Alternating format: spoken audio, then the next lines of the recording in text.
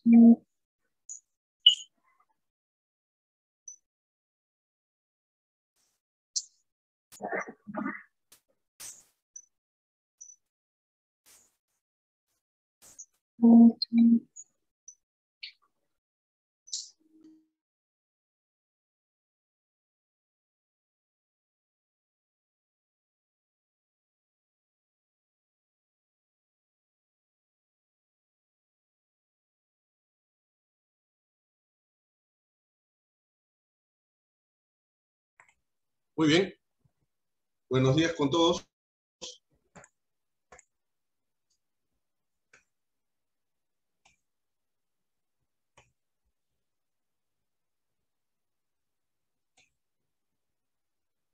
¿Qué tal? ¿Qué tal? Buen día, buen día. Bienvenidos a la, creo que consideraríamos ya este, la última clase. Okay, vamos a hablar acerca de NAMPI.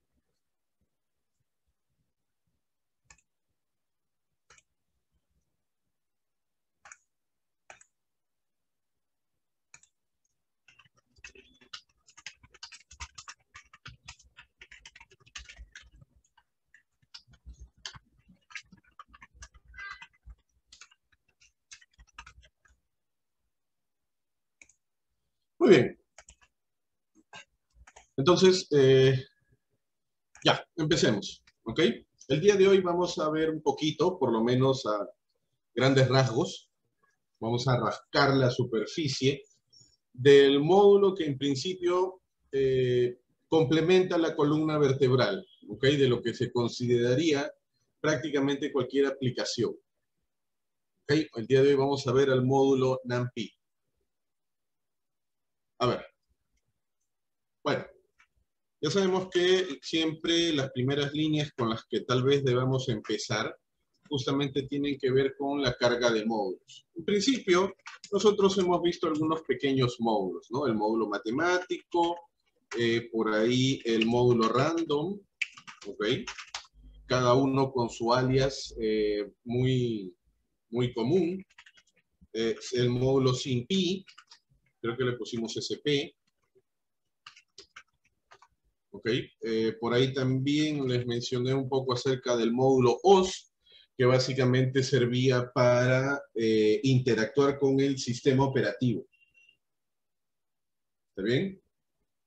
Con eso, con ese módulo, en principio, interactuábamos con el sistema operativo. Listar archivos, crear carpetas, verificar permisos, eh, inclusive, tal vez, valgan verdades, ciertas tareas un poquito ya de la ingeniería de software, como por ejemplo el versionamiento, utilizando algún servicio como eh, GitHub, GitLab, Jira, un montón de servicios que hay para ese tipo de cosas, administración de proyectos y todo lo demás. Esto por el hecho de que al tener comunicación directa con el sistema operativo podemos ejecutar eh, comandos del sistema operativo, no solo propios de Python, sino también del sistema operativo. ¿Ok? Por ahí también me parece que vimos para algunas cositas el módulo string. ¿Ok? Y bueno, como también hemos visto, es bastante sencillo aprender, eh, en primer lugar, de qué está compuesto un módulo. ¿Ok? Y en segundo lugar, la documentación de cada uno de los componentes de un módulo determinado. ¿Ok? Entonces vamos a crear una celda para esto. Carga de módulos. ¿Ok? Lo usual es justamente una celda para cargar módulos, otra celda para tareas únicas y exclusivas de cargar datos en memoria, y el resto de celdas ya de procesamiento, preprocesamiento eh, e inclusive postprocesamiento. ¿Ok? Muy bien, si nosotros ejecutamos esa celda, ok, ya sabemos que eh, ejecutamos toda una celda con control enter. Vemos que no ha habido ningún problema al ejecutar esa celda. Así que ahora sí eh, podemos eh, cargar NumPy. Ok. Como siempre, vamos a cargar el módulo con un alias. El alias usual es np. ¿Ok? Si yo remarco esa línea y la ejecuto con F9, no deberíamos de tener ningún inconveniente, dado que en la primera clase, ¿ok? instalamos ese módulo. Listo. Obviamente, si es que ya tengo cargado el módulo, lo primero que tendría que hacer es ver de qué está compuesto ese módulo. Y vamos a poder ver que es una lista de elementos bastante grande. Pero como bien sabemos, eso de ahí lo podemos eh, almacenar en una variable, como por ejemplo elementos NP, para ver, más o menos, tener una idea de cuántos, cuántas funciones eh, componen NumPy. Y en este caso, podemos ver claramente que está compuesto por 609 elementos. ¿Ok? Como es de esperar, no todos los 609 elementos vamos a usar. En principio, el día de hoy, vamos a tratar de eh, conectar todo lo que ya sabemos con este nuevo módulo. Así como tal vez en su momento lo hicimos con SIMPI, ¿ok? Eh, vamos a hacer lo mismo con AMPI. Vamos a ver qué es lo básico del módulo, qué es lo básico de las estructuras que nos permite eh, tener acceso a NAMPI y a partir de ello combinar con lo que ya sabemos. ¿Ok? Muy bien. Ya está. Dicho ello, continuemos. ¿Ok? Bueno, eh, también, como es de esperar, nosotros podemos ver la documentación de este módulo. Para ello utilizamos help. Es un poquito extenso al parecer. Ahí está. Vemos que tiene todo esto. Lo más probable es que no alcance para ver toda la documentación. Ajá, ahí está. Ok. En ese caso, muchas veces sirve eh, la pestaña de ayuda. Okay. Acá buscamos la ayuda del objeto NP y ahí nos va a aparecer.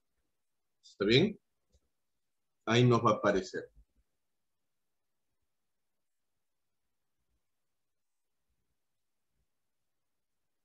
¿Ok?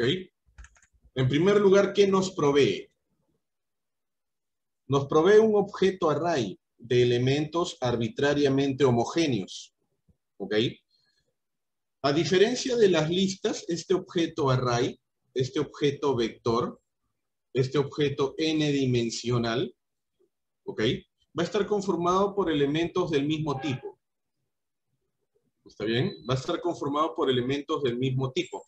A diferencia de las listas y las tuplas, que como ya hemos visto, podía contener elementos de distinto tipo.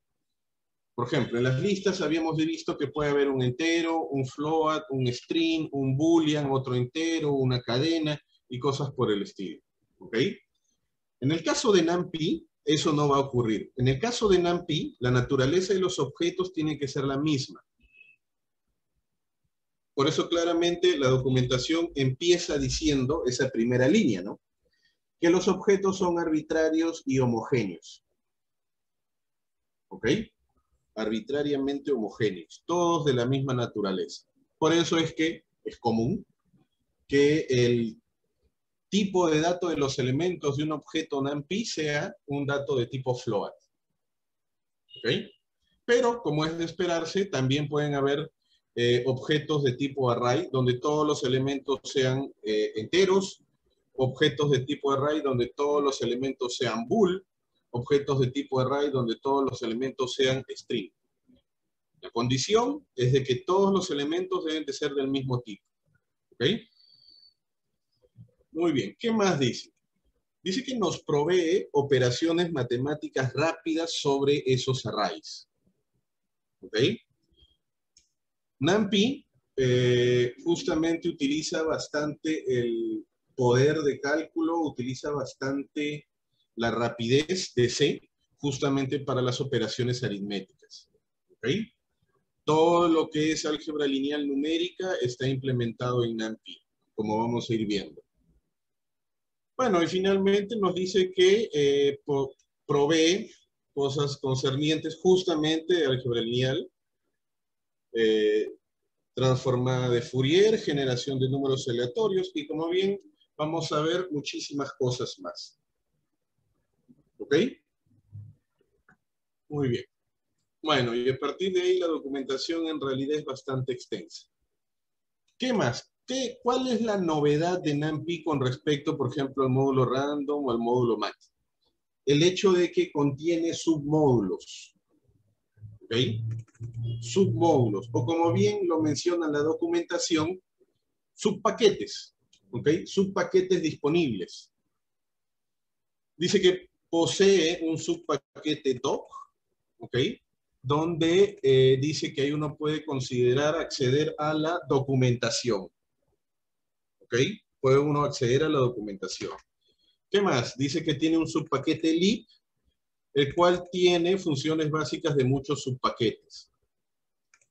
Un subpaquete, o tal vez más comúnmente llamado submódulo random, donde justamente tiene herramientas de aleatoriedad. Tiene un módulo con herramientas eh, propias del álgebra lineal. El, el submódulo se llama linalf. ¿Ok? Como también nos, eh, nos lo decía anteriormente la documentación, tiene un módulo para rutinas de la transformada rápida de Fourier. ¿Ok? Recuerden que la transformada rápida de Fourier no es la misma transformada de Fourier que nos enseñan en el pregrado. La transformada rápida de Fourier en principio es un algoritmo creado hace un par de décadas en el MIT por dos alumnos de doctorado, donde justamente eh, demuestran que su algoritmo es el más rápido que existe. Eh, también tiene herramientas para manejar polinomios, tiene herramientas para hacer testeo sobre NumPy, tiene justamente un submódulo para traducir código de Fortran a Python, ¿ok? Teniendo en cuenta pues de que eh, Fortran es un lenguaje bastante antiguo. Y tiene en principio herramientas que justamente permiten distribuir algo de código antiguo escrito en Fortran. ¿Ok? Muy bien. Entonces, esa es la novedad de NumPy el hecho de tener acceso a subpaquetes. Listo. Muy bien. De todo esto, de todas estas herramientas de aleatoriedad, de álgebra lineal, de transformada de Fourier, de este, herramientas que permiten trabajar con polinomios, la base, sin lugar a dudas, es el objeto array. ¿okay? Por eso vamos a mencionar por acá que el objeto principal ¿okay? de NumPy es justamente lo que se denomina un ND array. ND viene de n dimensional y array viene de vector. ¿Está bien? Vector o matriz. En general, un objeto eh, estructurado. ¿Ok? Obviamente, eso de ahí está representado por intermedio de una función. Esa función vive en NumPy y la función es array. ¿Ok? Si nosotros ejecutamos el help de esa función, podemos ver la documentación. ¿Está bien? Algo corta. Vemos de que tiene un primer argumento object, un segundo argumento de type. Eso ya nos debe ir haciendo pensar en nuestra función type. ¿Ok? Una serie de argumentos que en principio dan un poco la libertad de utilizar esta estructura y esa es la razón por la cual NumPy es el módulo base para hacer literalmente cualquier cosa. Machine Learning, Deep Learning, Reinforcement Learning, base de datos, procesamiento de imágenes, procesamiento de videos, procesamiento de datos en tiempo real, cómputo distribuido, cómputo paralelo. Literalmente hablando, NumPy, al trabajar sobre el álgebra lineal, efectivamente es eh, la columna vertebral de todo lo que está por encima de él. ¿Ok?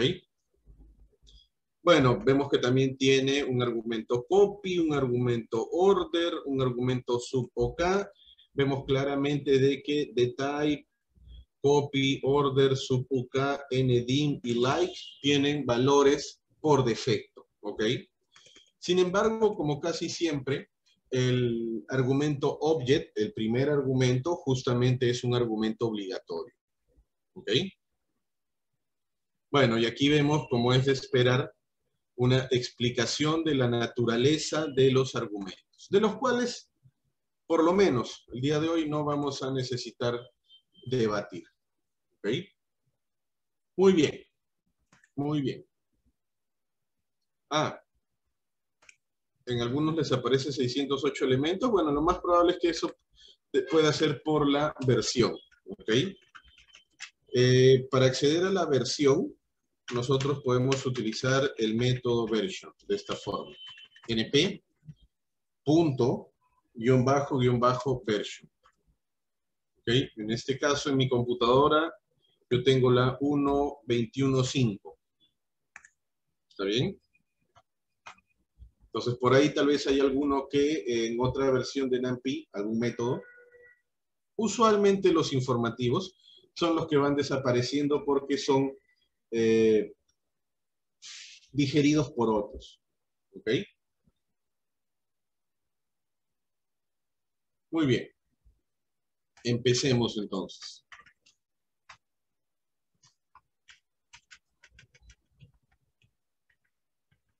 En vista de que el objeto principal de NumPy es un dato de tipo NDArray, vamos a preocuparnos por definirlo. ¿Ok? Definición de arrays de NumPy, para ser bastante específicos. A ver,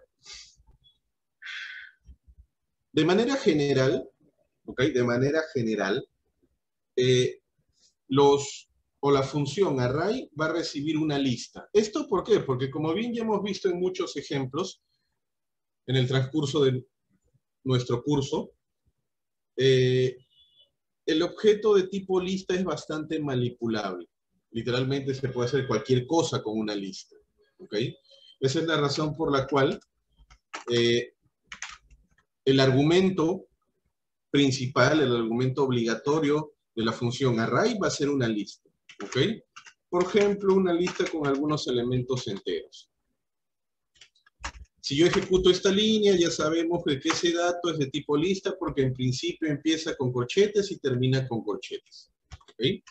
Para justamente definir un ND nosotros vamos a utilizar la función array. Por ejemplo, vamos a llamar bec1 al resultado de operar con la función array y colocarle como argumento un objeto de tipo lista. Si nosotros ejecutamos esa lista o esa línea de código, lo primero que debemos notar, gracias a Spider, es que ya tenemos la variable creada. Acá está. ¿Ok? Ya tenemos a bec1 creada. ¿Qué más? Nos está diciendo que es un dato de tipo array de int64. ¿Y qué más? Nos está diciendo que el tamaño ¿ok? El tamaño, bueno, en primer lugar es una tupla, ¿ok? Es una tupla eh, aparentemente bidimensional, pero sin embargo solo tiene una dimensión, ¿está bien? Cuatro elementos en la dimensión de las filas, ¿ok? Eso quiere decir de que si eso tiene cuatro elementos en la dimensión de las filas, estamos hablando de que eso es un vector columna. ¿Okay? Si traducimos lo que vemos a nuestro conocimiento del álgebra lineal, nosotros podemos entender de que eso claramente es un vector columna. ¿Ok?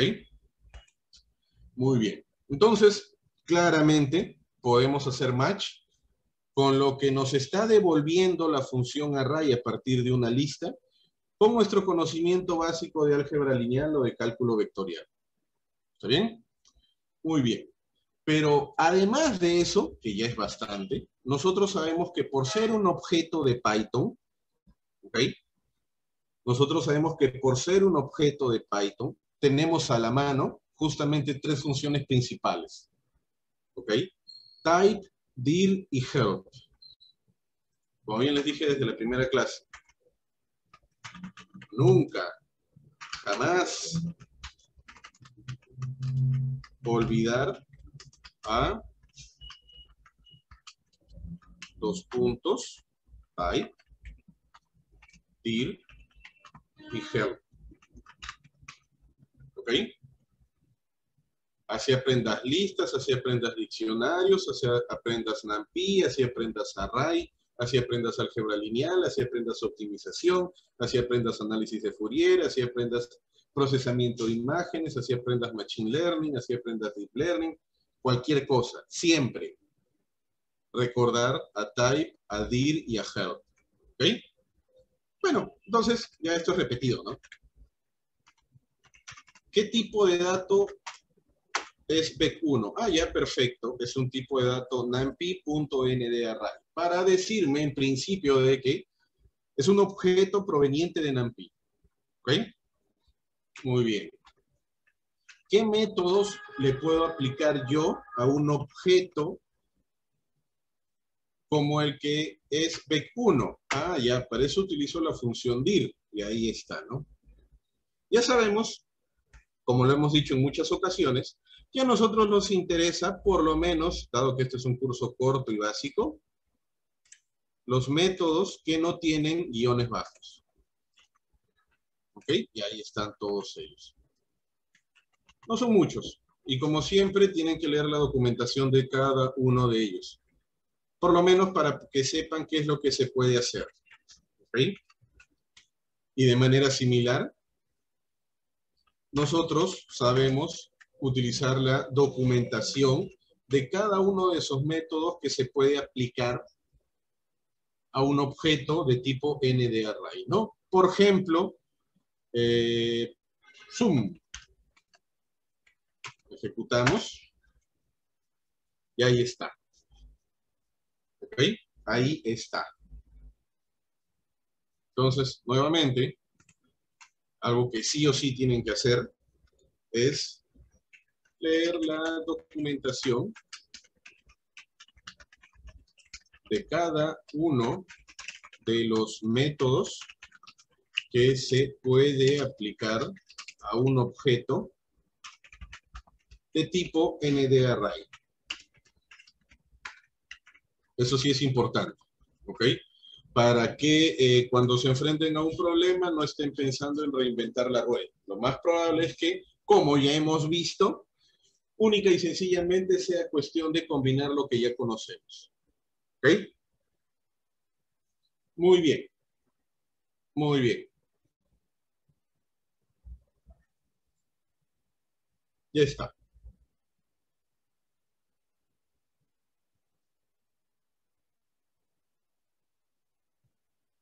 Ya está. ¿Ok? Entonces, cualquier cosa que nosotros pudiéramos hacer con una lista, podemos ver de que claramente lo podemos traducir a un objeto de tipo NDArray. ¿Ok? Tranquilamente. Entonces, si recordamos, en algún momento implementamos nosotros una función que nos generaba justamente eh, una lista con notas aleatorias. ¿Ok? Entonces vamos a modificar esa función de tal manera que lo que devuelva ya no sea una lista, sino más bien un objeto de tipo NDArray. A ver, veamos eso. Implementemos una función que dados tres argumentos, ok, que dados tres argumentos, n para el número de elementos, a como límite inferior y B como límite superior, nos devuelva un objeto de tipo NDArray. ¿Está bien? A ver, fácil, ¿no? Palabra reservada des. Make vector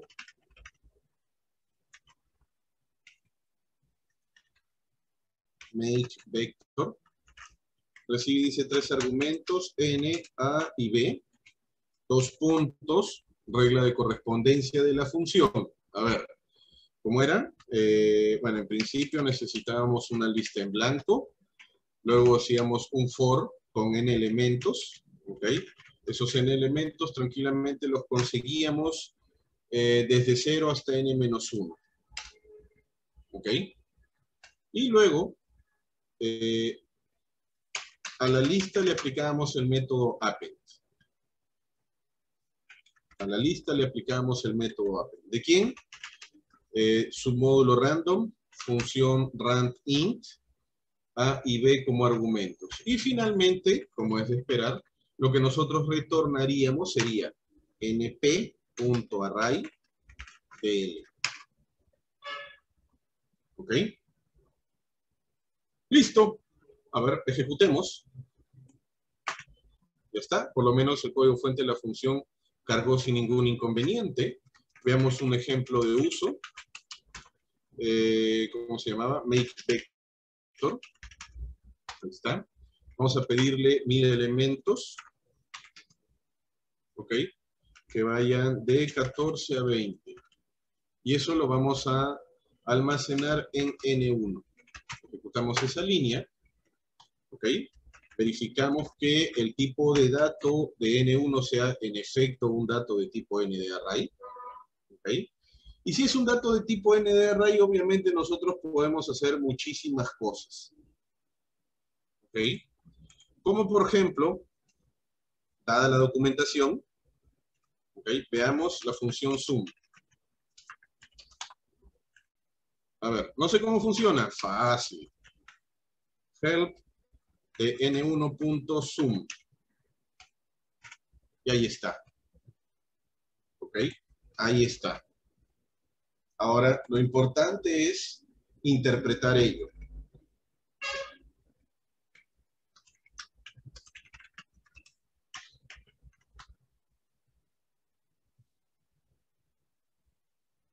¿Está bien? Lo importante es interpretar ello.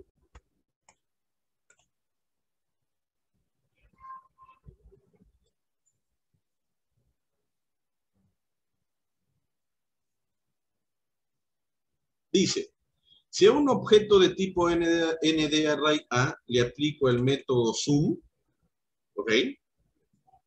En primer lugar, me va a retornar la suma, ¿ok? De los elementos del array dado un eje. ¿Está bien? Dado un eje.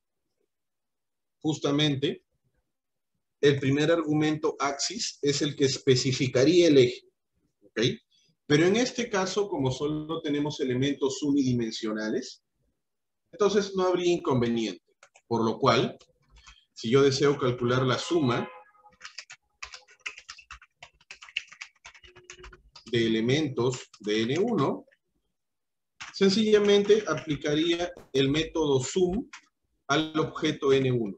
Y efectivamente eso me devuelve la suma de elementos.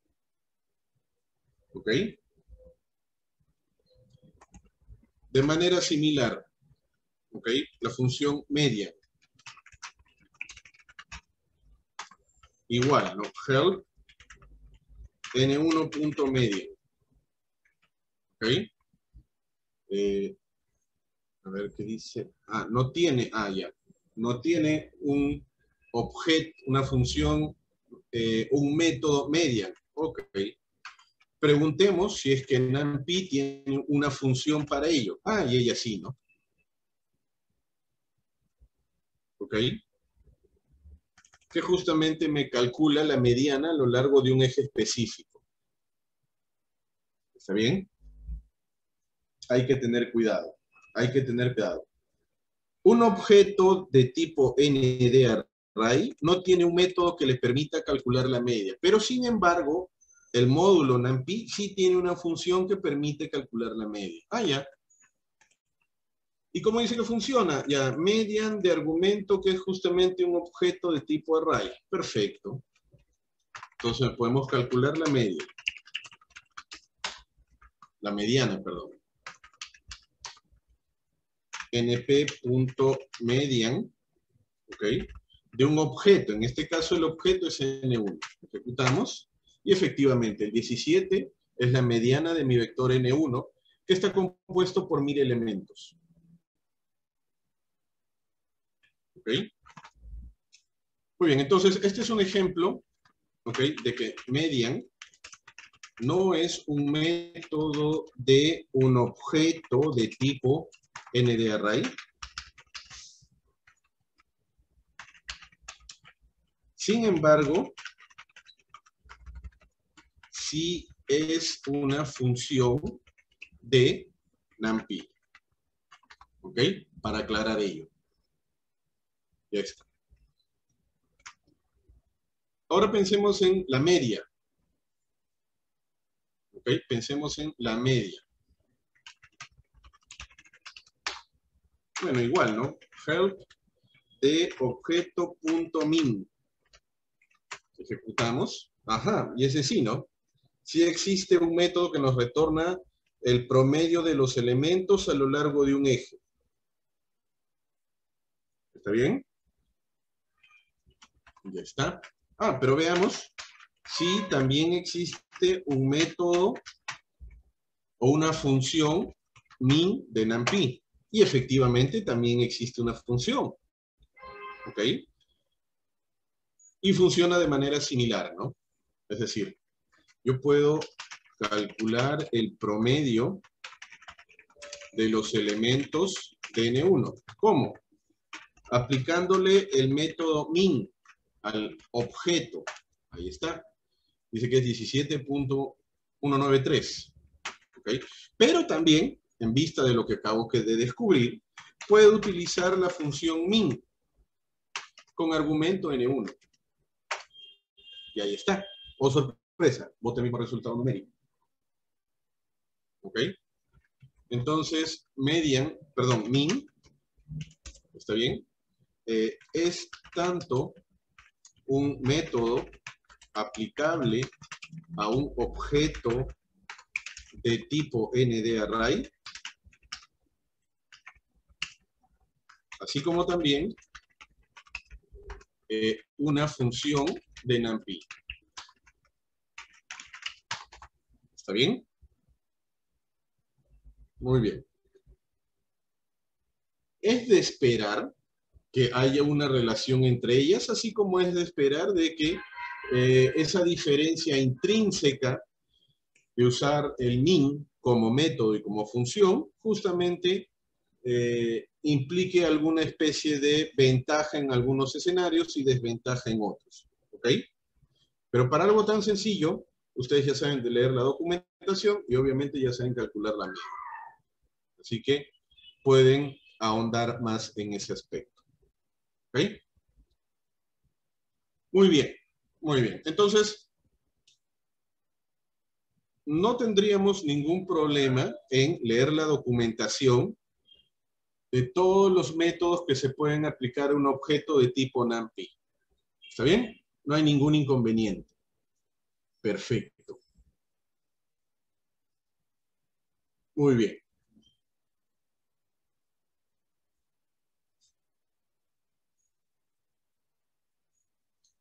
Muy bien. Generemos otro vector aleatorio. ¿Ok? Eh, veamos los métodos informativos de un objeto NDArray. Generemos otro vector, otro vector de notas. ¿Ok? Generemos otro vector de notas. A ver. Eh, eh, eh, N2, pues. Usemos nuestra función makeVector. Ya sabemos que nuestra función makeVector, bueno, como no hemos colocado un docstring, no hay documentación disponible. Pero sabemos cómo funciona, ¿no? Primer argumento, número de elementos. Segundo argumento, límite inferior. Tercer argumento, límite superior. Voy a generar un vector de notas de 0 a 20. ¿Ok? Ahí está. Listo. Como es de esperar, puedo utilizar sin ningún problema la función type para saber, para verificar, para corroborar que efectivamente estoy obteniendo un dato de tipo NDArray. ¿Ok? Muy bien. Entonces, veamos algunos métodos informativos. ¿Ok?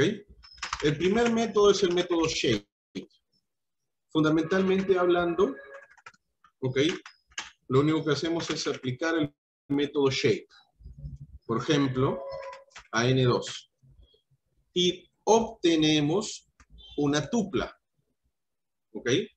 En vista de que está entre paréntesis, ya sabemos que este resultado es una tupla.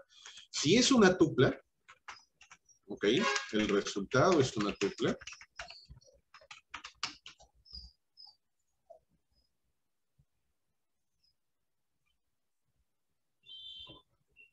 ¿Ok? El resultado es una tupla. Para nosotros ya debe ser conocido que podemos obtener el primer elemento. Ya sabemos que para acceder a las componentes de una tupla sencillamente utilizamos los corchetes. ¿Ok?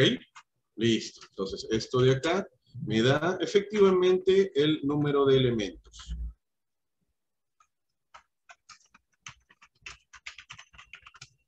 ¿Ok? Muy bien, ya está. El siguiente, el método NDIM. De manera similar. A un objeto, como por ejemplo N2, le voy a aplicar el método NDIM. Y ese me va a decir de que es un objeto unidimensional. ¿Ok? N2 es un objeto unidimensional. Eso es lo que significa este 1 por acá. ¿Qué más? El método size. ¿Ok? A N2 le aplico el método size. ¿Qué es lo que obtengo? 20 elementos. ¿Ok? 20 elementos. En este caso, el método size corresponde con el primer elemento del resultado de aplicar el método shape.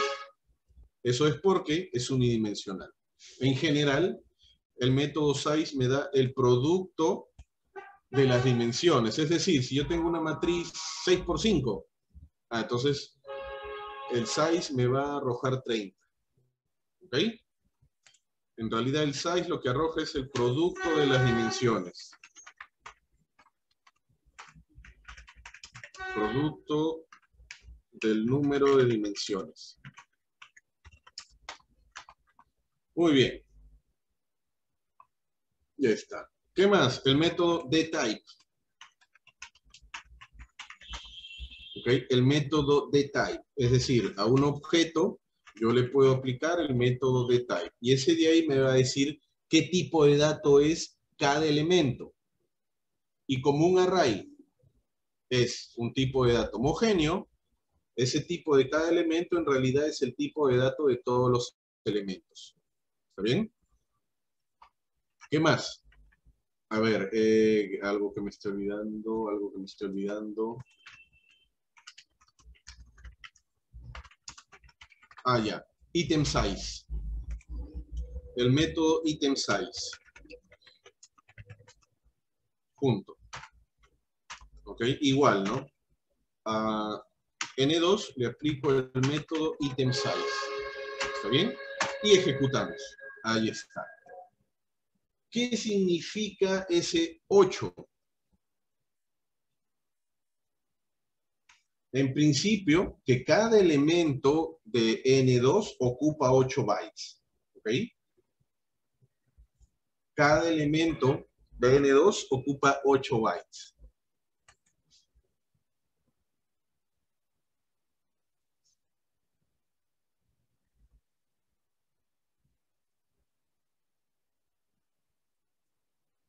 Muy bien.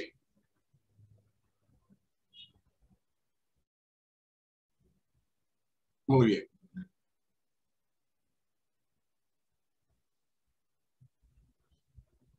Muy bien. Ah, a ver, a ver. Luis nos pregunta, eh, make vector en dos dimensiones, ¿cómo sería? Ah, buena pregunta Luis. A ver. Modifiquemos nuestra función make vector modifiquemos make vector.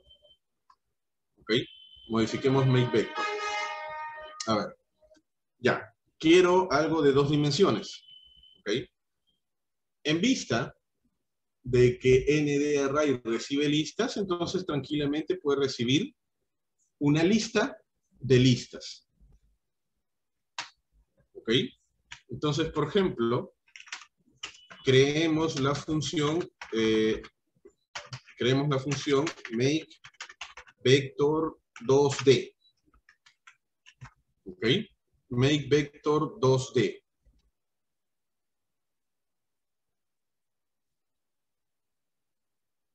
Ya está. Bueno, imagino que debe tener filas, número de filas, vamos a llamarle NF, eh, número de columnas, eh, límite inferior y límite superior. ¿Ok? Hagamos el docstring. Ya está. Eh, función para generar, crear un objeto bidimensional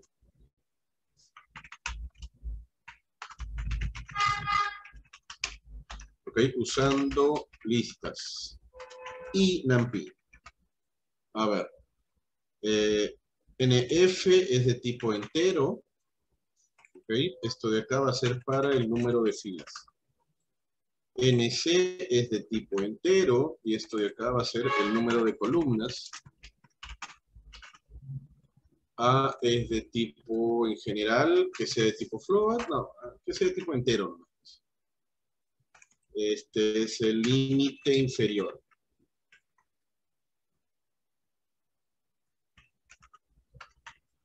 Y el B también que sea de tipo entero, dado que estamos utilizando rand int. Y este de acá que sea el límite superior. Listo. Y lo que retorna es un nd array de dos dimensiones. Muy bien. Muy bien, muy bien. A ver, ¿cómo sería? Ya, si yo quiero número de filas, número de columnas, yo estoy pensando en algo por el estilo, ¿no? Número de filas va a ser una cantidad determinada de listas. Y número de columnas va a implicar que esta de acá tiene, si tiene tres columnas, cada fila va a tener tres columnas.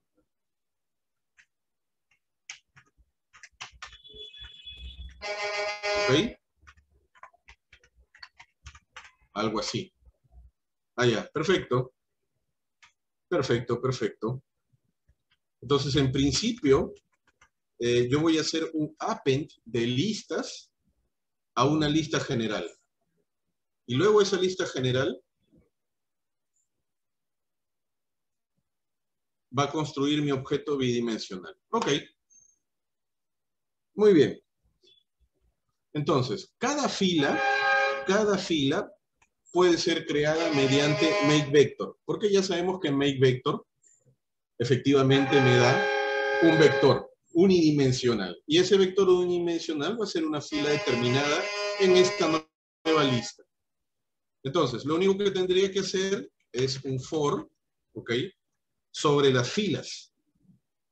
¿Ok? Un for sobre las filas.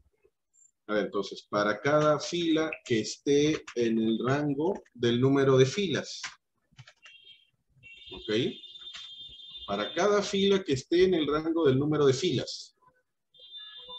Ya está. Es decir, voy a generar esta primera fila, esta segunda fila, y así hasta llegar a NF filas.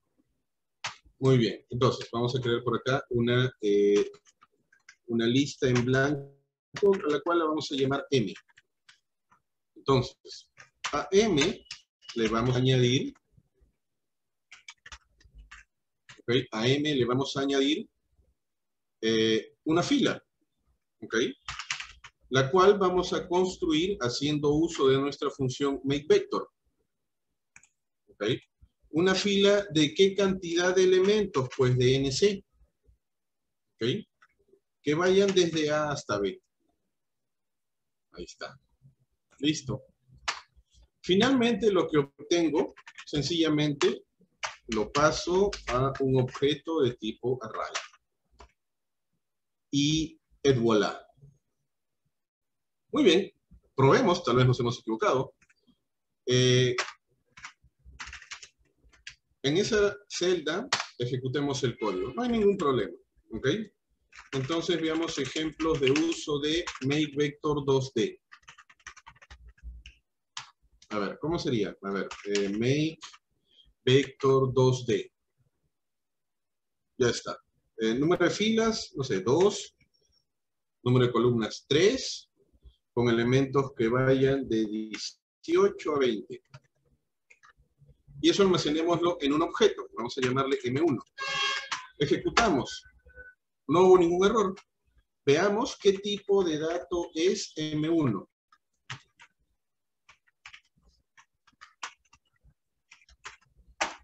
Oh, sorpresa, es un objeto de tipo NDArray. Yo sé que hay una serie de métodos informativos para un objeto de tipo NDArray. Por ejemplo, a M1 le puedo aplicar un shape. Oh, sorpresa. Tiene dos filas por tres columnas. A M1 le puedo aplicar el método NDIM. Dos dimensiones. Filas, columnas. A M1 le puedo aplicar el método size. Dos filas por tres columnas me da en total seis elementos. A M1 le puedo aplicar el método de. Cada uno de los elementos de M1 es de tipo int64. ¿Ok? Y a M1, si la memoria no me falla, también le puedo aplicar el método itemSize. Para decirme de que efectivamente cada uno de los elementos que conforma a M1 es ocupa 8 bytes. ¿Ok? Ocupa 8 bytes. Muy bien. Muy bien. Ya está. Ah, pero quisiera ver M1.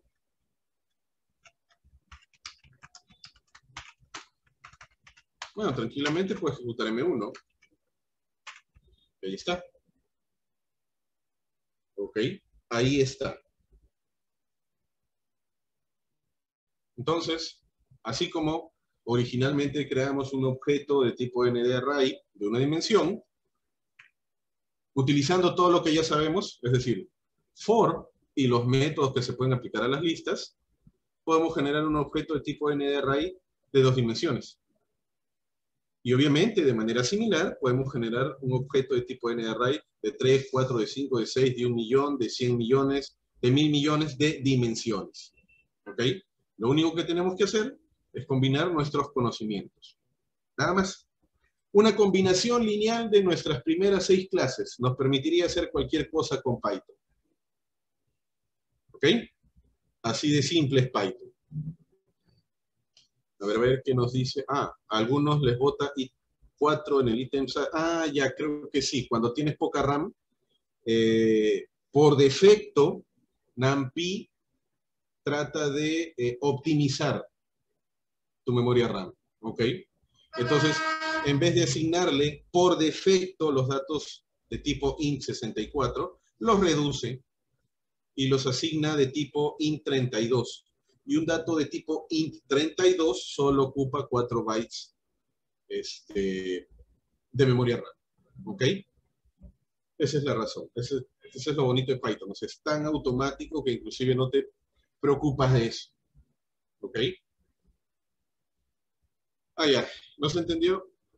Ese es mi algoritmo para construir una matriz o un objeto eh, de tipo ND bidimensional.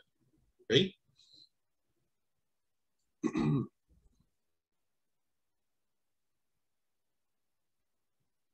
Muy bien. Muy bien, muy bien, muy bien.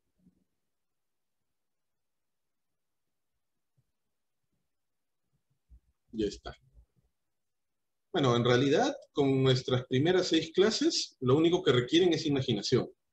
Pueden hacer cualquier cosa. ¿Ok? Se puede hacer cualquier cosa con nuestras primeras seis clases. En realidad, lo que continúa ahora es, en vez de estar reinventando la rueda cada rato, aprender a usar la herramienta. Nada más. ¿Ok? Nada más. ¿No? For ya lo vimos, range, ya lo vimos, listas en blanco, ya lo vimos, método append, ya lo vimos, make vector, podemos sacar pecho de que nosotros lo hemos creado. ¿Ok? No hay nada nuevo acá. Lo único es imaginación. ¿Está bien? Lo único es imaginación. Ah, la parte antes del algoritmo es justamente eh, esos métodos informativos que hemos hablado. ¿Ok? que justamente los utilizamos acá, ¿no? Todos estos de acá. Shape, NDIM, size, the type e item size. ¿Ok? Puros métodos informativos. Para saber, por ejemplo, ¿no? Eh, si el item size me dice que en mi computadora cada elemento ocupa 8 bytes y el size me dice que yo en total tengo 6 elementos, eso quiere decir de que en total mi objeto M1 ocupa 6 por 8, 48 bytes de memoria RAM. ¿Ok? Muy bien. Muy bien. Otra forma, otra forma, eh, otra forma de crear objetos bidimensionales es justamente aprovechándonos de la herramienta. ¿Ok? Aprovechemos NumPy.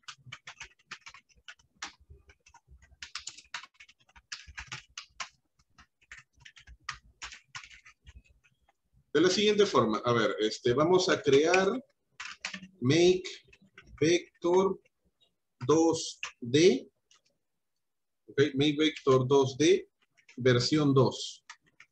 A ver. Muy bien, igual, ¿no? Número de filas, número de columnas, ¿no? Tiene filas, número de columnas, extremo inferior, extremo superior. ¿Ok? Muy bien. Ya.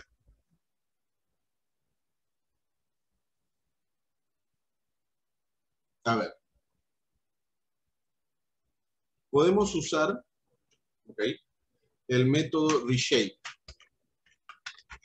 de un objeto eh. De la siguiente forma, a ver. Yo sé que con make vector, okay, con make vector de número de filas por número de columnas, yo voy a generar esa cantidad total de elementos. Si eso lo alimento con los otros dos argumentos, eso me va a generar un vector con una cantidad de elementos igual a número de filas por número de columnas, donde cada elemento está en el intervalo A, B. ¿Ok? Pero a todos esos elementos yo le puedo aplicar un reshape. ¿Ok? Donde yo puedo especificar qué filas o la cantidad de filas y la cantidad de columnas. Como makeVector me retorna un dato de tipo NArray y al hacerle el reshape obtengo un dato de tipo NDArray, entonces mi función makeVector 2D versión 2 puede retornar tranquilamente esa única operación. ¿Ok? Entonces, carguemos en memoria esta función está. Y veámosla en acción, pues. Este, a ver, vamos a crear M2. Que M2 sea el resultado de usar MakeVector 2D versión 2. Ahí está. De tres filas por tres columnas con elementos de 14 a 20. A ver, ejecutamos y veamos quién es M2. Ahí está tres filas por tres columnas con elementos de 14 a 20. ¿Ok? Entonces, logré reducir, bueno, mis cuatro líneas de código a solo una. ¿Ok? Logré reducir mis cuatro líneas de código que comprendían una función a solo una. ¿Cómo? Aprovechándome ¿ok? Aprovechándome. Así que, moraleja, por más de que yo tenga la imaginación, la experiencia, la, inteligencia no lo creo, es solo imaginación, ¿ok? Por más que yo tenga la imaginación, la experiencia de poder crear una función que haga lo que yo quiero, que obviamente me va a ocupar varias líneas de código, ¿ok? Yo puedo optimizar ello. Siempre puedo optimizar ello. Lo único que me va a costar es tiempo en pensar cómo puedo reducir, cómo puedo optimizar las cosas. Nada más. ¿Está bien? Muy bien.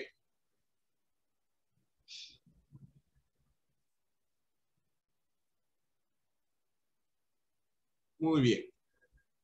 Y bueno, teniendo en cuenta de que eh, absolutamente cualquier problema, cualquiera, una transforma de Fourier, una regresión, una red neuronal, la detección de bordes en tiempo real, eh, bueno, más fácil, la detección de bordes en una imagen, la detección de personas en un video, en real time inclusive, cualquier cosa, todo de manera absoluta, necesaria, ineludible, tiene que tener una formulación matricial.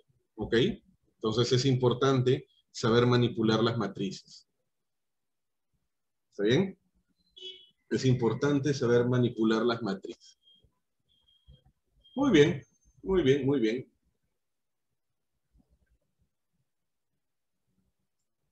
¿Alguna duda hasta ahí? ¿Todo claro con nuestra pequeña función eh, MakeVector 2D versión 2?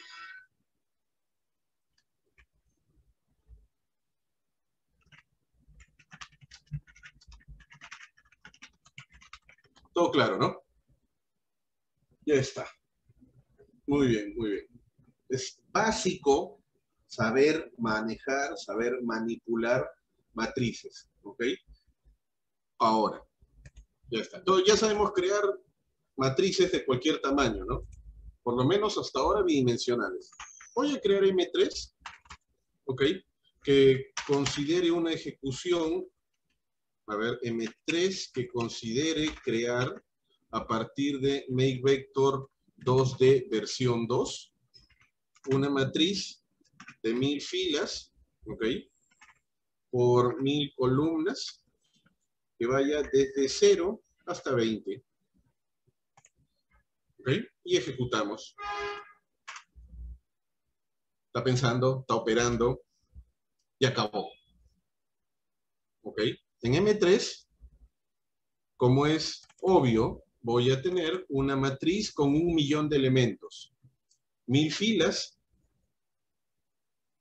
por mil columnas. ¿Ok? Y ahí está mil filas por mil columnas. Es de esperar que las filas estén numeradas desde 0 hasta 999 y es de esperar que las columnas estén numeradas desde 0 hasta 999. Y como ya sabemos, desde 0 hasta 999, pues obtenemos mil elementos. ¿Ok? Muy bien, muy bien, muy bien. Ya está. Ya está. A ver, continuemos. Algo que añade de suma importancia eh, a los objetos de tipo ND array es que las operaciones aritméticas en principio ya son vectorizadas. ¿Ok? Vamos a hablar de ello en eh, otra celda. Este, estudio componentes y operaciones vectorizadas. Operaciones vectorizadas. A ver, a ver, hay algunas preguntas que veo. Ah, make vector is not defined. Bueno, imagino que tal vez no habrán estado atentos, pero por ahí nosotros creamos una función make vector. Y obviamente esa es la que venimos usando. Esa es la que venimos usando tanto para crear MakeVector 2D en función de MakeVector, como para crear MakeVector 2D versión 2. ¿Ok? Entonces, eh, solo usamos lo que creamos. Todo está en el código. ¿Ok? Muy bueno. Imagino que suele ocurrir. Ya. ¿Cómo accedemos a las componentes? A ver, tampoco hay novedad acá. ¿Cómo accedíamos a las componentes de las listas? Fácil. ¿Cómo era? Este, eh, con corchetes, ¿no? Por ejemplo, ¿cuál es el segundo elemento de, M1, de N1? Ah, ya, yo sé que ese es el de índice 1. Está. ¿Cuál es el último elemento de N1?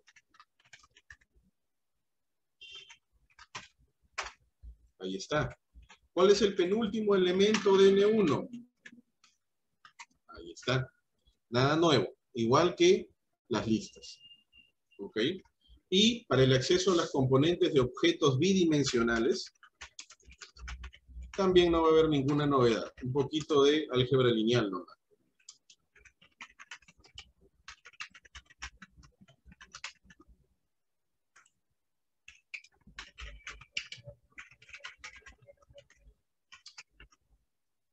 Por ejemplo, eh, ya, M2, perdón, M2 mayúscula, ¿no? Ahí está. Ya está. Corchetes, filas, coma, columnas. ¿Ok? Fila, coma, columna. Fila, la primera. Ya está. Columna, todas. Ejecutamos y ahí está. ¿Ok? Esa es la primera fila. Vamos a ir anotando por acá. Esta es la primera fila. Ya está. Nuevamente, a ver, M2. Eh, en filas, todas, dos puntos, coma. En columnas, la segunda columna, ahí está. Ejecutamos. Y ahí está, ¿no? Esa es la segunda columna.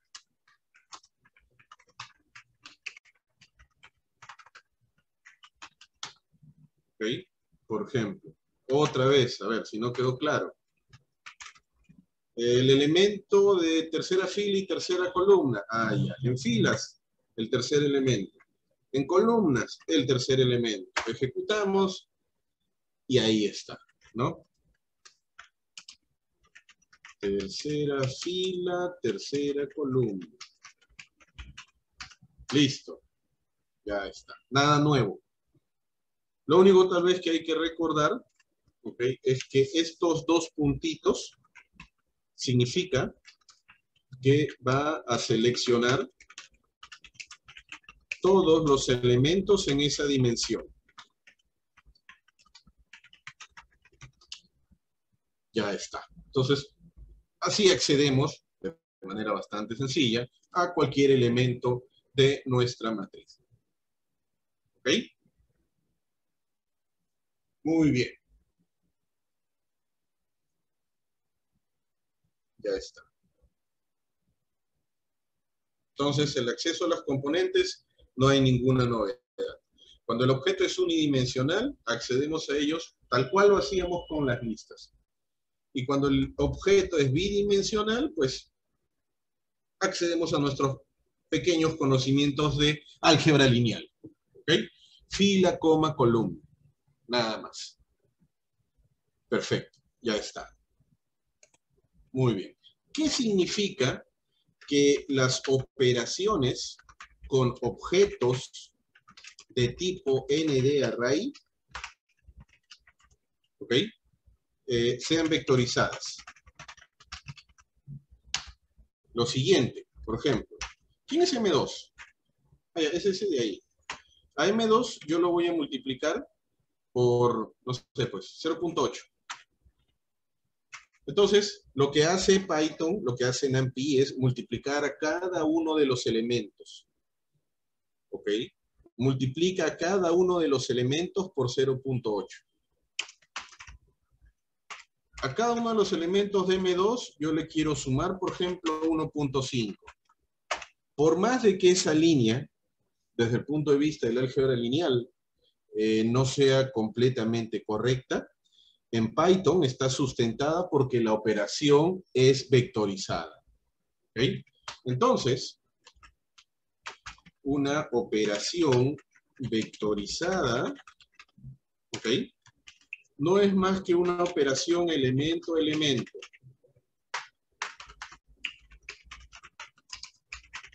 ¿Está bien?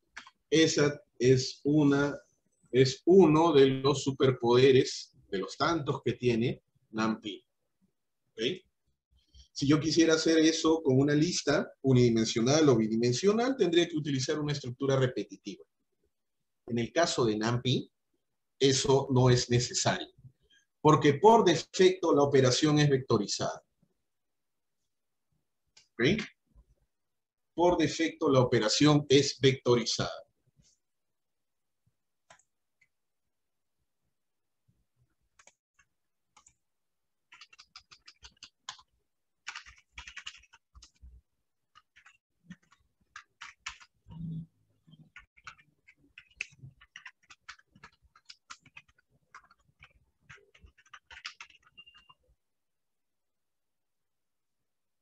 Muy bien. Ah, a ver, Mauricio nos hace una pregunta muy interesante. ¿Se puede sacar determinante?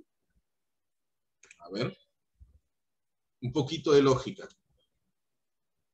La determinante es una operación fundamental del álgebra lineal. Entonces es de esperar, dado que NumPy implementa, como ya se ha dicho, muchas cosas del álgebra lineal, eh, entonces, el primer lugar donde yo buscaría es justamente en las funciones de NumPy. A ver, busquemos pues.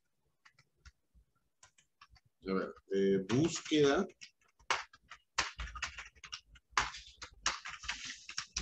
de la determinante.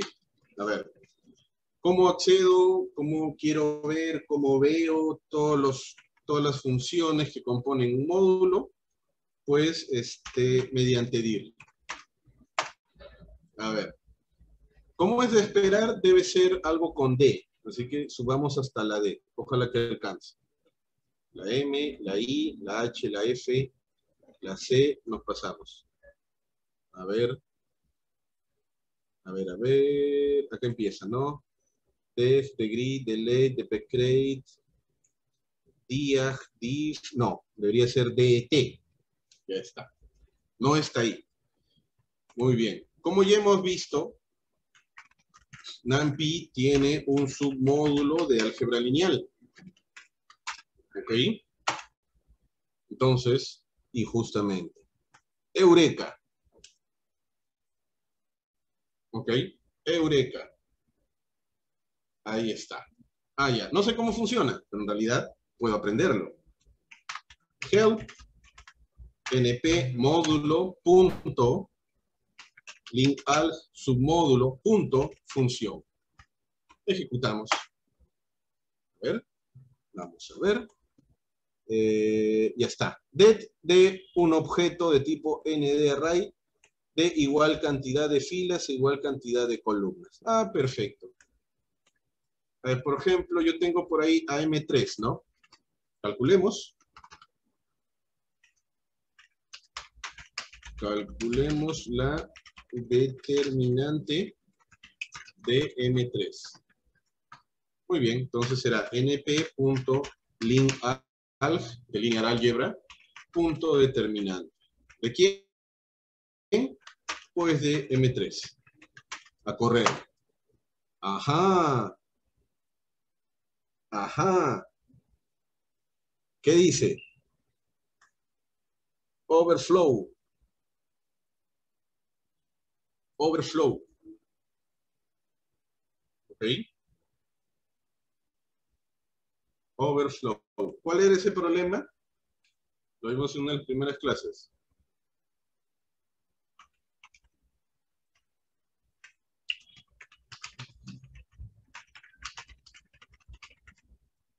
Exacto. Como bien lo dice Luis, ¿no? No, no, no, no, no, William, no es que se le haya acabado la memoria. en realidad, no sé si notan, en esta esquina inferior derecha, ¿ok? En esta esquina inferior derecha, está diciendo de que, bueno, ahorita eh, en mi setup, donde utilizo, este, aparte del monitor de la laptop, utilizo tres monitores más por cuestiones de trabajo, eh, y tengo corriendo algunas cositas ahorita en la, en, la, nube de, un cliente. Este, con todo eso, estoy ocupando el 69% de memoria RAM. No es un problema de RAM. Como en algún momento lo vimos, el overflow es una especie de eh, descontrol en el error al momento de hacer operaciones. ¿Ok? Ojo, en este caso no podemos hablar de que los números son ni muy grandes ni muy pequeños, porque son todos, ¿ok? Es más, el explorador de variables nos dice ello, ¿no? Todos los números están entre 0 a 20. ¿Ok? Todos los números están entre 0 a 20. Y es una matriz cuadrada. ¿Ok? Entonces, eh, no es en realidad un problema, eh, digamos, estructural. ¿Ok? Básicamente es un problema de la implementación. ¿Qué dice acá?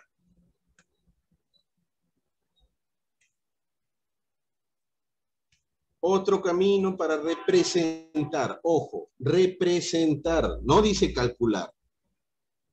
¿Ok? No dice calcular. Dice que es otro camino para representar la determinante.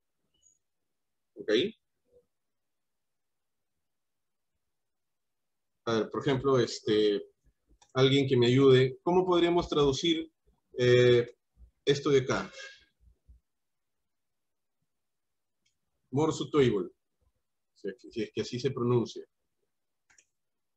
Bueno, lo que me está diciendo la misma documentación, nuevamente, como tal vez ya se puede este, recordar,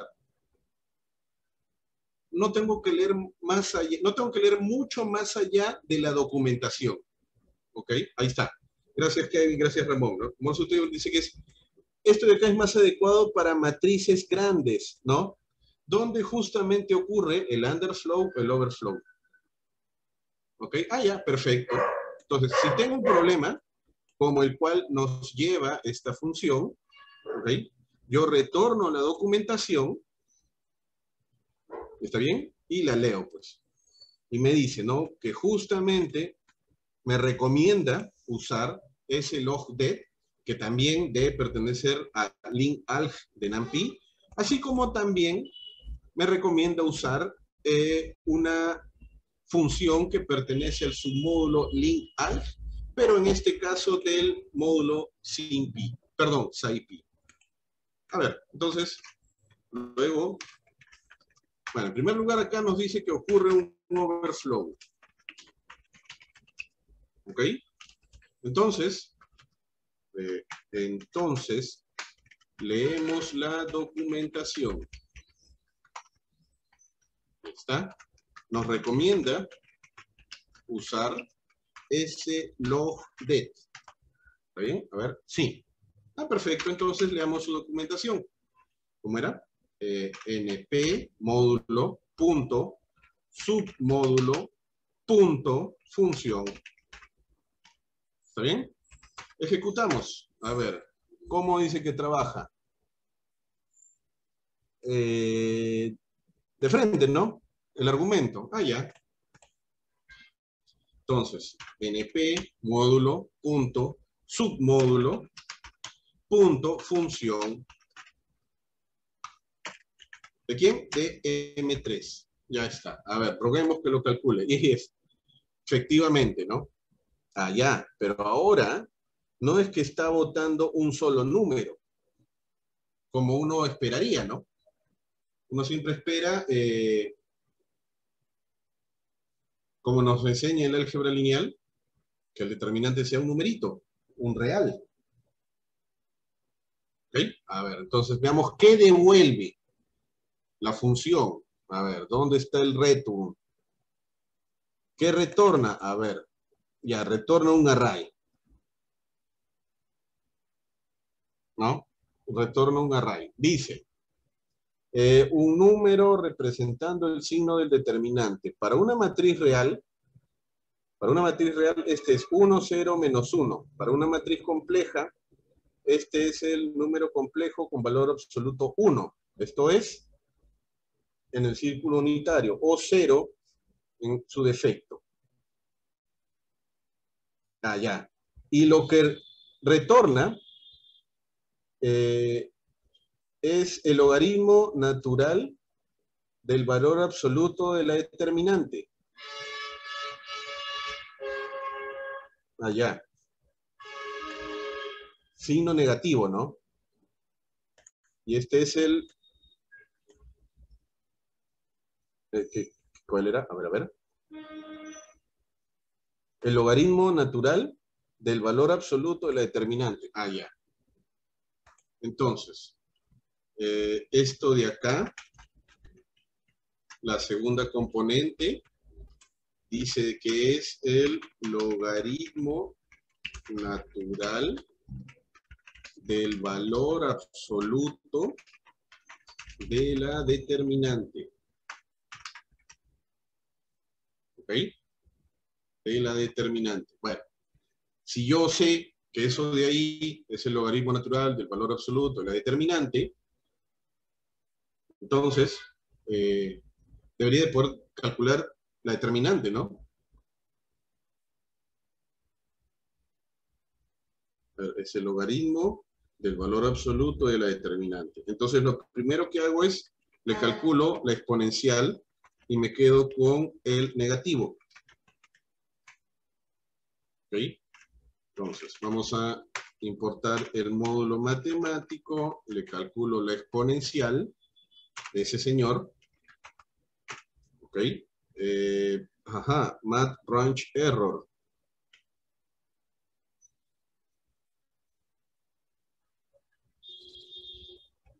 Eh, a ver, esta segunda componente me da un numerito. entonces, en vez de la exponencial del el módulo matemático, utilizamos la exponencial de eh, NAMPI. Ah, ya, pero como el número es grande, su exponencial desborda.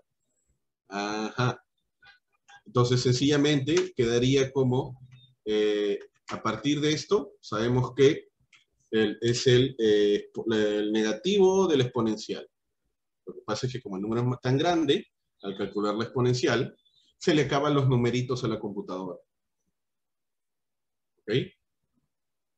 ¿Han visto qué fácil es encontrar que la computadora no puede hacer un cálculo? ¿Ok? Así de fácil es.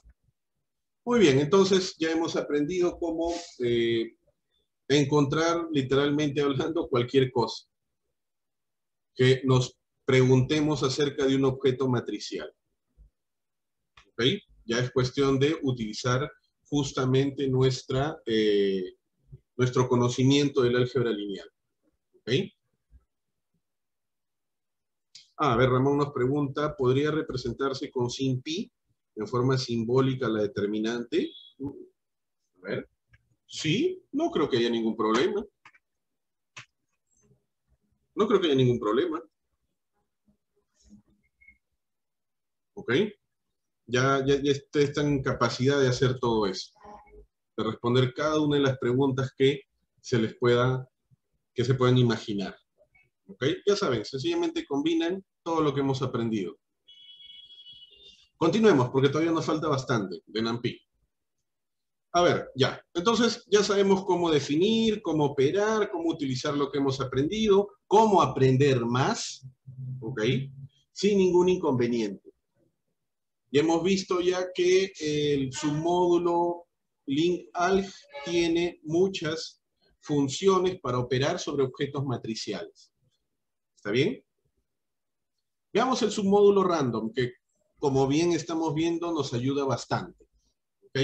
Hemos utilizado una versión súper sencilla, eh, unidimensional, del módulo random. Eh, así que veamos el submódulo random de NumPy. Siempre es importante manejar esas herramientas. ¿Ok? El submódulo, o bueno, la documentación le llama subpaquete random. ¿Ok? De NAMPI. A ver, a ver, a ver. Entonces, yo ya sé cómo eh, acceder a la lista de funciones que componen un submódulo. ¿Ok? Con ¿no? Lista de funciones que compone el submódulo random. Ahí está. Y ahí está, ¿no? Son todas estas. Como es de esperar, nos va a interesar sobremanera aquellas que no tengan guion bajo. Ahí está. A ver, copiémoslo por acá. Todas esas. Como es de esperar, también, para no estar reinventando la rueda, deben leer la documentación de todo o de toda función que compone que compone eh, al submódulo link alg y al submódulo random. ¿Ok? Que son los que vamos mencionando. Muy bien.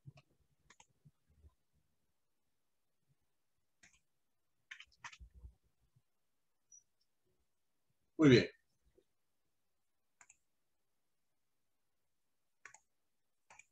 Ya está. Entonces, tenemos un montón de funciones. ¿Ok? Vamos a ir viendo algunas de ellas. Como es de esperar, yo también puedo acceder a la documentación del submódulo.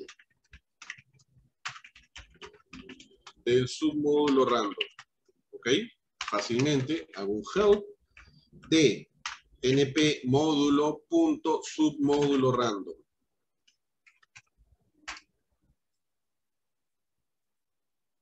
Y ahí está, ¿no? Bueno, vemos que también es extensa. Inclusive no alcanza la cantidad de líneas de Python. Fácil, pues. Nos vamos a la pestaña Help y acá colocamos np.random. Y ahí vamos a tener acceso justamente a todos los que, todos los métodos, todas las funciones que componen este submódulo. ¿Ok?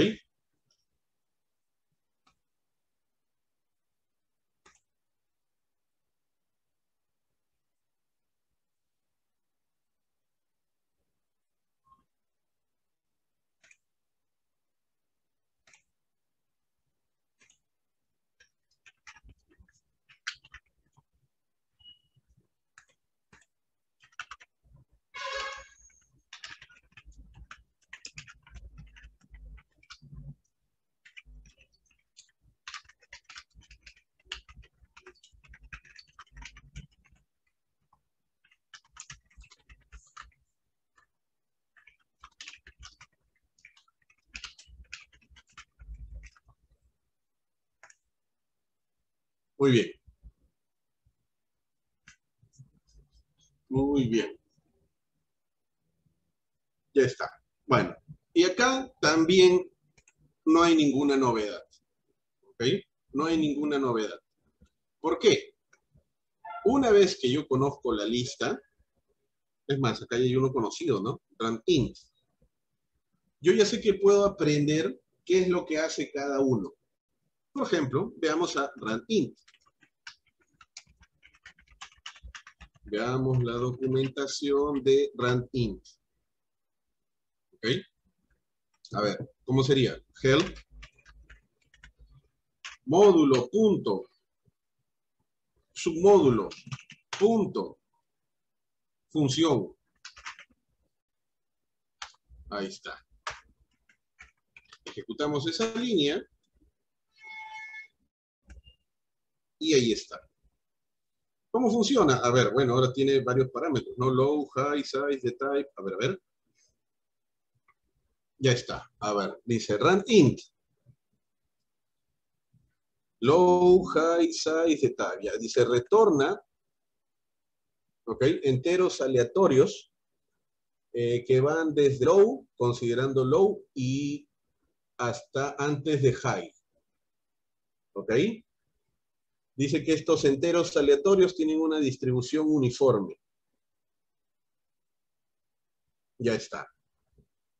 A ver, low es un entero o un array de enteros High también es un entero o un array de enteros. Este es opcional. Size es un entero o una tupla de enteros. También es opcional.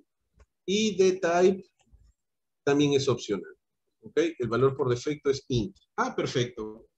Ya interpreté toda la documentación. Chamba de ustedes. Eh, ¿Cómo sería?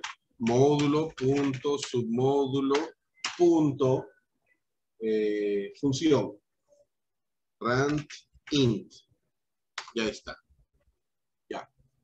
No, de 0 a 20. ¿Ok? De 0 a 20. Ah, pero yo sé que no va a llegar hasta el 20. Ah, le pongo 21. Ok, le pongo 21. Size. Bueno, en Python es necesario colocar el size, pero vamos a forzar el error. Eh, vamos a pedir de 3 eh, por 5. Ejecutamos y ahí está. Ok, ahí está. Todos son enteros. ¿Por qué?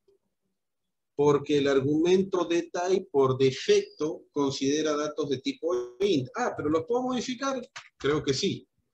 A ver, la memoria ya me está comenzando a fallar por la edad, pero vamos a ver si me atraca eh, algo de tipo float. Ejecutamos. Ajá, error. Ah, ya, ya me acordé ya. Creo que hay que utilizar np.float pero aunque también ahí me parece, a ver, tampoco, ya, creo que es entre comillas. Eh, entre comillas, con esto, a ver. Tampoco. Eh, aunque el, anterior error creo que me decía de que tenía que utilizar float 64 un supported de type for int. Ah, ya, es que ranting solo genera enteros, pues. Error mío. Error mío. Ya. Entonces, ahí por defecto, a ver, esto de acá vamos a guardarlo en M4. Ok, M4. Vamos a ver qué tipo de dato es M4. Bueno, cada elemento. Ah, ya, es un int de 64. Entonces, busquemos, para ahorrar un poquito de memoria, que sean de int32. De type, igual. Imagino que debo utilizar np.int32. Ya está, ahora sí. Entonces, si yo le pregunto a M5 qué tipo de dato es cada elemento, efectivamente me va a decir que es de int32. ¿Ok? Ya está. Entonces, no tengo ningún inconveniente en manipular, aprender, dominar cualquier función que componga cualquier módulo o submódulo de NumPy. Ya sé leer la documentación, sé acceder a ella, sé interpretar qué significan los argumentos, es más, ya debo de saber, aunque no hemos cometido muchos errores, y valgan verdades, ese es error de mi parte, debí forzar a que haya más errores en la clase para forzar a eh, pensar en cómo resolverlos. Pero bueno, como en algún momento les dije, eh, yo no es que sea profesor. Así que trato de hacer mi máximo esfuerzo para que ustedes comprendan la naturaleza del lenguaje. Pero sí, creo que debí forzar a que haya más errores para aprender a resolverlos. Bueno, voy a anotarlo en mi bitácora. Muy bien. ¿Ok? Pero así como estamos utilizando RANTIN, podemos utilizar cualquier otra, ¿no? Tal vez que no genere números enteros. ¿Ok? Por ejemplo, chi cuadrado. A ver, RANTIN me dijo, ¿ok? RANTIN me dijo, y me puede decir en cualquier momento, que los números los genera, me parece que por ahí está, eh, con una distribución uniforme. Acá estás. Con una distribución uniforme. Obviamente esa distribución uniforme, eh, desde el punto de vista de la teoría de la probabilidad, no es única. ¿Ok? Hay varias. Para algunos inclusive hay muchas. Y para el que sabe teoría de la probabilidad, en realidad puede inventar un montón más. Veamos la documentación de chi cuadrado. ¿Ok? Aunque por ahí también hay un exponencial, por ahí también hay una distribución de Dirichlet, ¿ok?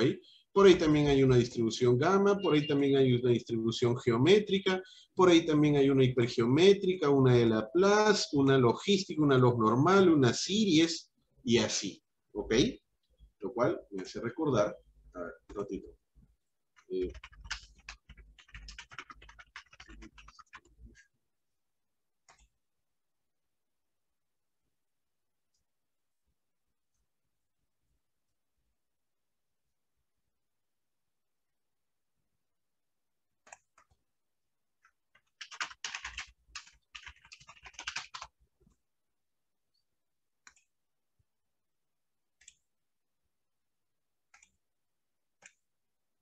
esto de acá. Para el que tiene la suerte, o el que se crea su suerte, de ir a matemática y llevar el curso de teoría de la medida, y tal vez luego la suerte de llevar teoría de la probabilidad, ahí puedes aprender esto. Es decir, tan grandote, ¿no? A partir de la normal, ¿ok? A partir de la normal yo puedo construir la log normal. ¿Cómo? Sencillamente le saco la exponencial. ¿Ok? A partir de la beta, a partir de una distribución beta, forzando algunas condiciones de los parámetros de esa distribución, yo puedo construir una normal. ¿Ok? A partir de la binomial, generando un escenario particular en los parámetros, yo puedo construir una normal. Es más, esto es algo bastante común que inclusive creo cuando llevan cálculo de probabilidades lo ven. Cómo llegar de una binomial a una normal. ¿Okay? A partir de una Poisson de parámetro lambda, ¿okay? yo puedo construir una binomial. A partir de una sencilla Bernoulli, yo puedo construir una binomial a partir de una tridimensional, por así decirlo, porque depende de tres parámetros, hipergeométrica, forzando algunas condiciones sobre los parámetros, yo puedo construir una binomial. ¿Ok? Este mapita es muy interesante de manejarlo. ¿Ok? ¿Por qué? A ver, argumentemos esa, esa aseveración. Hoy en día es bastante conocido que con el advenimiento de las computadoras, el poder computacional, las herramientas de tipo cloud, eh, muchos supuestos que se sabían desde hace muchos años que no se cumplían para muchos algoritmos, se usaban simplemente sin respetar ello. ¿Eso por qué? Porque la mayoría de los métodos supone normalidad en algunas dimensiones del modelo, y eso muchas veces no es realista. Eh, entonces, casi o cada vez en más escenarios, se buscan profesionales que conozcan la matemática que está detrás de todo esto para justamente construir distribuciones que se apeguen de mejor manera a los datos. ¿Ok? Eso obliga a que, eh, digamos, eh, considerar el cálculo de probabilidades más como algo escolar que como algo que profesionalmente hablando sirva. ¿Ok? Entonces, este, eh, bueno, como siempre a veces me gusta recomendar, ¿no? Vayan al link a hacer la premaestría. ¿Ok? Creo que acá la mayoría es de pregrado. Cuando ya estén pasando el séptimo ciclo, aprovechen su veranito y hagan la premaestría del INCA, no buscando eh, no buscando ingresar a la maestría, sino tratando de aprender esos conocimientos abstractos. ¿Ok? Muy bien. Bueno, y por ahí imagino que debe estar la chi cuadrado. Bueno, ya encontrarla va a ser todo un tema. ¿Ok? Entonces veamos cómo funciona la chi cuadrado.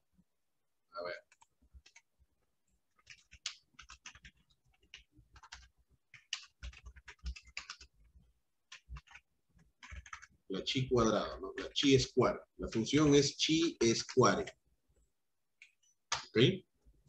Ah, a ver, Williams nos pregunta, eh, ¿podría dar información sobre eso de la premaestría? A ver, Williams, recomendación en general.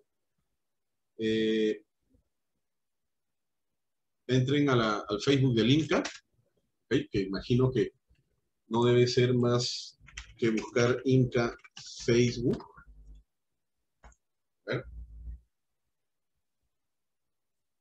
Eh, bueno, no hacen publicaciones desde el 8 de febrero, pero siempre es un buen eh, primer punto de partida.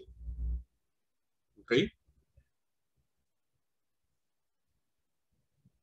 Imagino que por ahí debe haber alguna, bueno, que hay una conferencia. Ah, que es hoy a las 11. Ah, no, perdón, 6 de febrero. No, pero dice hoy. Ah, debe ser hoy entonces. A ver, a ver, a ver. Deputy Heat, eh, ¿dónde está la fecha? No, bueno, dice hoy, así que debe ser hoy. Jump Infinite Automata. Ajá. ¿Ya ven? Siempre dense una vuelta, póngalo como favoritos, todo lo demás. ¿Ok? Siempre a inicios de año hay un curso de premaestría. Y a mí siempre me gusta recomendar a los ingenieros, o en todo caso a los no matemáticos, que lleven esa premaestría. ¿Ok? Eh, ¿Por qué? Por la sencilla razón de que lamentablemente en el Perú eh, a los ingenieros no les enseñan matemáticos. Entonces lo único que les enseñan es a operar como simples calculadoras. Y llevar un cursito de premaestría les va a enseñar justamente que eh, la matemática es un poquitito abstracta. Y la premaestría simple y llanamente eh, les enseña que eso abstracto es algo sencillito. ¿Ok? Ajá. Eh, bueno, ya, ya empezó, ¿no? Ya, el 31 de enero. Ah, y siempre este, pregunten los primeros días de enero, porque eso se llena. ¿Ok? Eso se llena. O sea, si tú vas, no sé, pues el, 27, el 29 de enero, o inclusive la quincena de enero, lo más probable es que ya estén llenos los cupos. Entonces, los primeros días de enero nomás ya tienen el dato, ¿ok? El correo siempre es, el mismo. Ahí pueden escribir para eh, hacer consultas. ¿Ok? Siempre es bueno. Ah, claro, una premaestría en realidad, por más de que esté dada por un instituto de posgrado en matemática, una premaestría es eminentemente autocontenida. ¿Ok? Acá lo único que vas a aprender es por qué 0 por 1 es 0 o por qué el consecutivo de 2 es 3. Pero lo vas a aprender a sustentar. Y obviamente un par de cositas más por ahí, pero en general, ¿ok? Cualquier ingeniero, en realidad yo considero que cualquier profesional o alumno de pregrado de la UNI, por encima de séptimo ciclo, debería de hacer su premaestría en matemáticas. Solo la premaestría. Ya si te gusta y descubres que te encanta la matemática, ya pues haces tu maestría, ¿no? Hoy en día, valgan verdades, muchos profesionales están haciendo maestrías en matemática. ¿ok? Porque el mercado ya se dio cuenta de que el conocimiento que tú adquieres, calculista, ya no sirve. En realidad no sirve desde hace un par de décadas.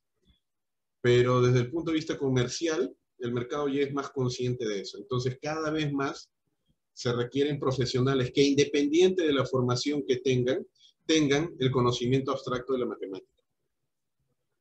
¿Ok? Entonces, ya saben ya. El séptimo ciclo para arriba, hacen su premaestría. Lleven los cursos, ¿ok? Aprendan, pregunten, consulten. Y creo que no es muy caro. Bueno, 150. Yo creo que eh, para un alumno de la uni, eh, bueno, cada uno en su realidad, ¿no? Ya eso es algo personal, pero de verdad que muy recomendado que cualquier profesional haga una premaestría en matemática. ¿Ok? La duración, bueno, acá, acá está, ¿no? Creo que las clases son dos veces a la semana. Ahí está. Por ejemplo, esta vez se han dictado los lunes, miércoles y viernes de 8 a 12. Bueno, si hubiera cruzado con nuestro curso, ¿no? Pero ya los que lo han llevado esta vez ya no lo van a llevar el próximo año. Así que ya saben, ya todos los casi 374 que están, ya el próximo año no van a llevar Python, así que se meten a hacer su premaestría, pues. Ok, el doctor Eladio Caña, el doctor Oré, están dictando álgebra lineal, el doctor Avanto y el doctor Palacios están dictando análisis real. ¿Ok? Entonces ya saben, el próximo año llevan su cursito de matemáticas. ¿Ok? Porque es bueno. La chispas, el link de la página. Este, bueno, lo encontré en Facebook, pero ya cerré, ya cerré esto. A ver ahora cómo lo consigo. Eh, está. Ya, a ver.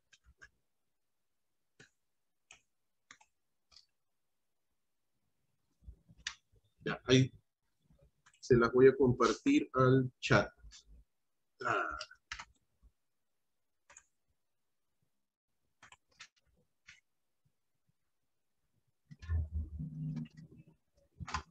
Ahí está. ¿Ok? Muy bien. Muy bien, muy bien.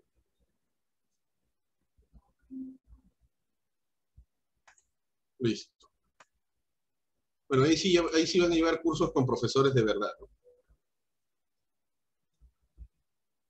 Ahí sí van a llevar cursos con este, profesionales que, que sí se dedican a enseñar. Para que vean la diferencia. Muy bien, continuemos. Ok, continuemos. En realidad, eh, ah, algo que también les quería mencionar, eh, e imagino que ya lo vamos a poder corroborar eh, antes de mañana, que vamos a tener que hacer una clase más. Ok, en realidad hoy día terminaba, pero este, quiero hacer Matplotlib para hacer visualización. Así que, este, de todas maneras, el miércoles, por favor, hagan lo posible en venir. Yo sé que no estaba originalmente en la propuesta, en realidad eh, la propuesta acababa hoy día, este, pero considero necesario hacer un poquito de visualización, porque siempre es bueno, ¿no? Aterrizar las cosas abstractas que podemos conocer en algo eh, gráfico. Ah, la asistencia, ya, ahora eso me mandaron hace rato, déjenme buscar en el WhatsApp, aquí está. Sí, sí, sí hay link de asistencia. Un momentito, un momentito, no se desesperen. Ya, ese debe ser. A ver, el certificado, eso lo hablan con Madai. ¿Ok? El certificado, eso lo hablan con Madai. ¿Está bien? Tiene su número, su correo, así que la bombardean. Escríbanle nomás. Cientos de veces al día. no mentira. No está activado de nuevo, de nuevo, de nuevo. ¿Cuándo no? ¿Cuándo no? A ver, a ver, un ratito. Ah, tiene razón.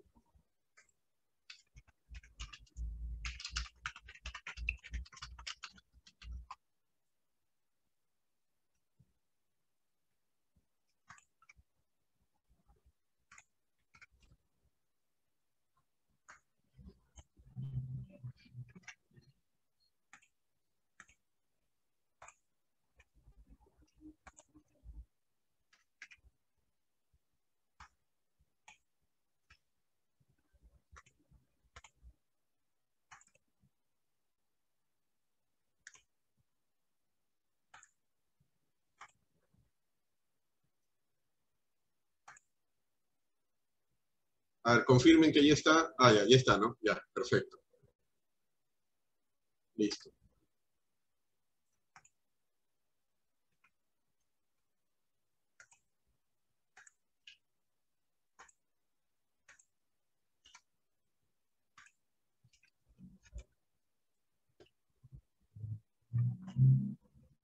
Ahí está el link.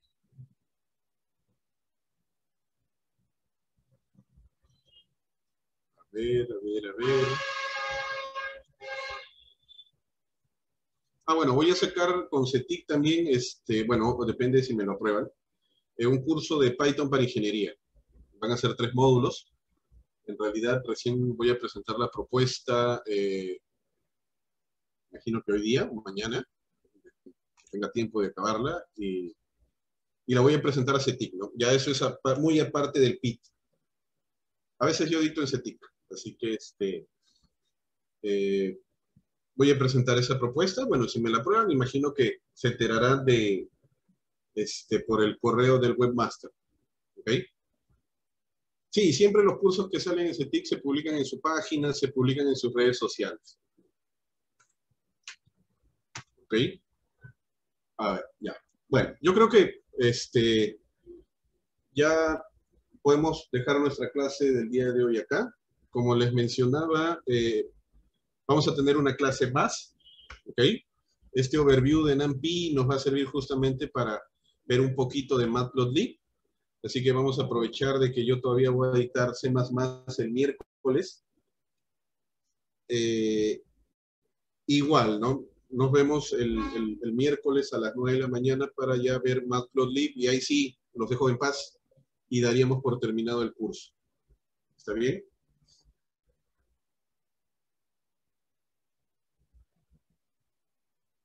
Vean, creo que la primera clase Madai habló un poquito acerca de la página de la bolsa. ¿ok? Vean la, primera grabación. Este, y si no, ya igual tienen sus coordenadas de Madai. No creo que hasta ustedes tienen su número y su correo. Escríbanle. ¿Ok? Escríbanle.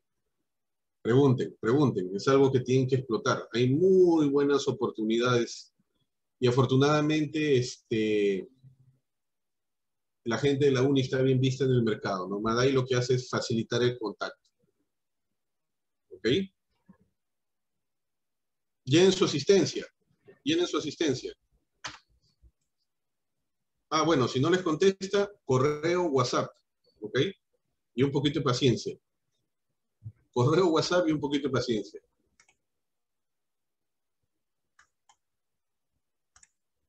Listo, gente. Nos quedamos entonces eh, hoy día acá. Okay, espero que les haya gustado NAMPI. Espero que vean que es la columna vertebral de todo lo que sigue. El miércoles vamos a hacer una clase extra este, para el tema de eh, visualización con Matplotlib. ¿Ok? Buen inicio de semana con todos. Estudien, aprovechen el tiempo que no vuelve, se los digo por experiencia. Y nos vemos el miércoles. Cuídense. Chau, chau.